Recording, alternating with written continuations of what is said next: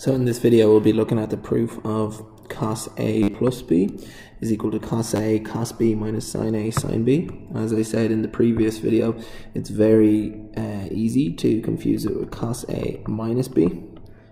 But uh, to try not confuse them that the cos A plus B is much easier than cos A minus B and just remember that the cos A minus B is the difficult one.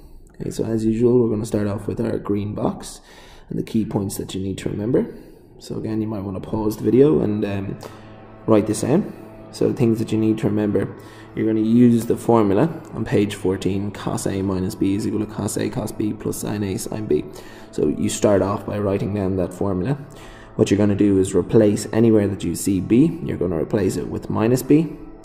And then the key two points that you need to remember is that cos of minus B is equal to cos of B, and sine of minus B is equal to minus the sine of B. They're on page 13, but I'll go and explain them to you now where they actually come from. So over here, we can see our unit circle. And in red, I have drawn in the angle B. So the cos of B is this x coordinate down here. Remember I said the cos is the x-axis. So the x coordinate is the cos of B. In purple I have minus b, the angle minus b drawn in, minus b always measured from the positive side of the x-axis, so the minus would be down here. And then the cos of minus b is straight up to the x-axis, and we'll find that they are the same point. So we get cos of b is equal to cos of minus b. And I'm missing in light blue. Then looking at the sine then, sine of b. Sine of b is the y coordinate Sine of b is the y coordinate, so that's why the point, the x coordinate, is cos b, the y coordinate is sine b. And looking at for the sine of minus b, be down here. So this point is sine minus b, are the coordinates for that point. And I'll put a little bracket around that, so it's written as a point. So you can sort of imagine it that this number might be, it's close to 1, so it might be 0.8-ish. Okay. And then this number down here is, well, it's a negative number and it's close to minus 1, so uh, you could say minus 0.8. 0.8.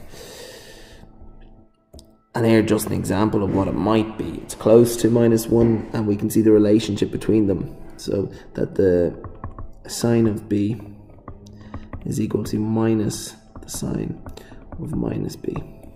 Okay, and you can practice that with any angles. So cos of 30 is equal to the cos of minus 30. You get the same thing out and just um, try it yourself right now. So let's go back to the actual proof then.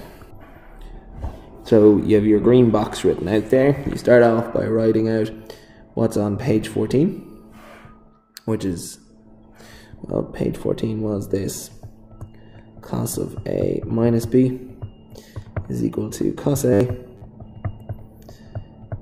cos B plus sine A sine B.